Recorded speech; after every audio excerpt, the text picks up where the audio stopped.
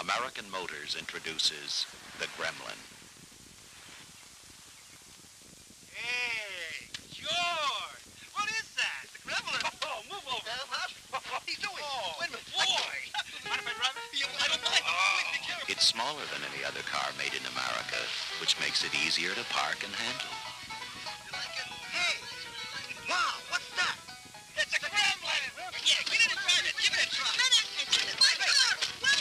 Gremlin is priced with the imports, and it gets better gas mileage than any other car made in America. Hey, guys, wait a minute! Hey, wait a minute, hey! What is this? It's a Gremlin! And it just could be more fun to drive than any other car